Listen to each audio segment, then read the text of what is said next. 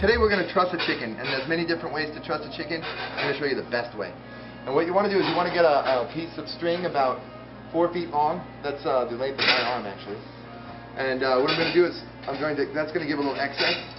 I'm going to grab the string right in the middle, right there. I'm going to reach over the top with the breast side toward you, and I'm going to wrap around the neck, just like just like on the top of the neck, like that.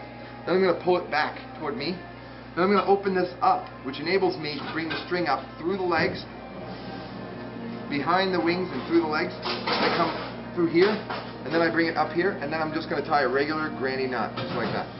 When I do that, this is the best, this is what makes it the best of the trussing of the chicken is the fact that the breast comes up. So you want to make sure you get the legs underneath the breast, and you want to really pull, really pull. We call this the Victoria's Secret method of trussing a chicken because it kind of brings the, the breasts right out there and makes it look plump later on. And then what you do is flip it over, do another little granny knot, and then end where you began right at the neck, right back here.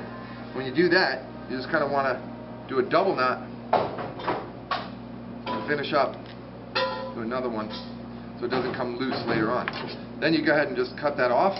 Then what we want to do is we want to keep these wings intact as well. And the reason why we're trussing is because of the fact that we want to keep everything together so that it cooks evenly, right? What we're going to do is we're going to actually lift that bottom string that comes through and just tuck our elbows right in between there. See that, how we're doing that? We do that on both sides. So the elbows go just go tuck right in there. And then what happens is you flip it back over and then you can take these wing tips, which burn very easily, and tuck those right in in there. So we have a perfectly trussed chicken. And then it's nice and trussed. You can sear it now, you can baste it now, you can do whatever you want.